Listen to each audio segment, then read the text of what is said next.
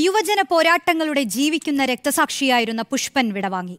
കൂത്തുപറമ്പ് വെടിവെപ്പിൽ പരിക്കേറ്റ് മുപ്പത് വർഷമായി കിടപ്പിലായിരുന്നു. വയർ സംബന്ധമായ സുഖത്തെ തുടർന്ന് കോഴിക്കോട് ബേബി മെമ്മോറിയൽ ആശുപത്രിയിൽ ചികിത്സയിൽ കഴിയുകയായിരുന്നു. നാളെ തലശ്ശേരിയിലെ വീട്ടുവളപ്പിൽ സംസ്കാരം നടക്കും. പൊതുദർശനം നടക്കുന്ന കോഴിക്കോട് യൂത്ത് സെന്ററിൽ നിന്ന് സാനു തയ്യാറാക്കിയ റിപ്പോർട്ട്. ഇന്ന് മൂന്ന് മണിയോടെയായിരുന്നു പുഷ്പന്റെ അന്ത്യം. കോഴിക്കോട് ബേബി മെമ്മോറിയൽ ആശുപത്രിയിൽ വയർ സംബന്ധമായ രോഗങ്ങളെ തുടർന്ന് ചികിത്സയിലായിരുന്നു അദ്ദേഹം.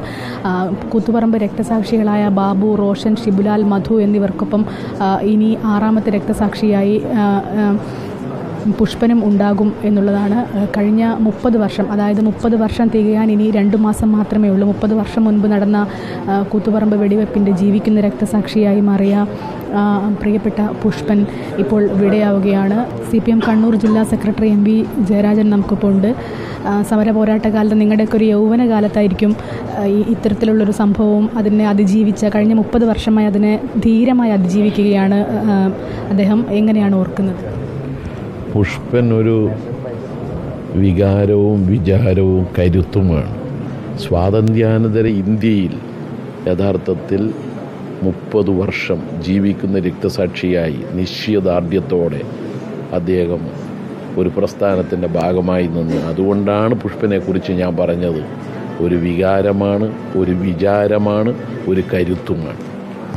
സി പി എം കോഴിക്കോട് ജില്ലാ സെക്രട്ടറി പി മോഹനൻ മാസ്റ്റർ നമുക്കിപ്പോൾ ഉണ്ട് നിരാശയുടെ ഒരു വാക്ക് പോലും ഒരിക്കലും പുഷ്പന്റെ ഭാഗത്ത് നിന്ന് ഉണ്ടായിട്ടില്ല എന്നുള്ളതാണ് അദ്ദേഹത്തെ നമുക്കൊക്കെ അമരനാക്കുന്നത്.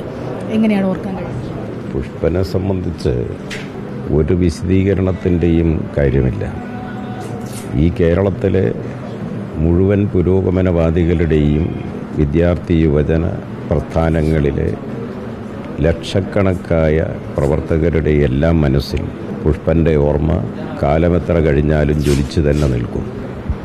അതാണ് ഇപ്പോൾ എം വി ജയരാജൻ പറഞ്ഞതുപോലെ പുഷ്പനെ അറിയാമോ എന്നൊരു പാട്ട് തന്നെയുണ്ട്. ആ ഒരു ഓർമ്മ എല്ലാ തലമുറയ്ക്കും ഇങ്ങോട്ട് തൊണ്ണൂറ്റി നാലിലെ വെടിവെപ്പിന് ശേഷമുള്ള തലമുറയ്ക്കെല്ലാം വലിയ പ്രചോദനമായി മാറിക്കൊണ്ട് പിന്നീട് നടന്ന സമര പോരാട്ടങ്ങളിലൊക്കെയും പുഷ്പന്റെ പേരിനോട് ചേർത്തുകൊണ്ടുള്ള സമര പോരാട്ടങ്ങളായിരുന്നു പിന്നീട് നടന്നതൊക്കെയും. ഒരിക്കൽ പോലും ഒരു നിരാശയുടെ ഒരു വാക്കോ മറ്റു കാര്യങ്ങളോ ഒന്നും പുഷ്പന്റെ ഭാഗത്തുനിന്ന് ഉണ്ടായിട്ടില്ല എന്ന് തന്നെയാണ് സഖാക്കൾക്കൊരു കരുത്തും സമര പോരാട്ടവും ഒക്കെ നൽകുന്നത്.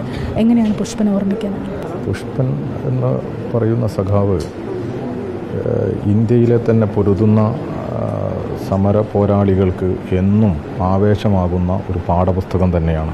ആ സഖാവിന്റെ ഓർമ്മകൾ ഈ നാട്ടിലെ എല്ലാ പോരാളികൾക്കും കരുത്തും ഊർജവുമാണ്. ആ സമര പോരാളി ഈ നാട്ടിൽ എന്നും എന്നും ജീവിക്കുന്ന ഒരു ഓർമ്മയായി തന്നെ ഉണ്ടാകും.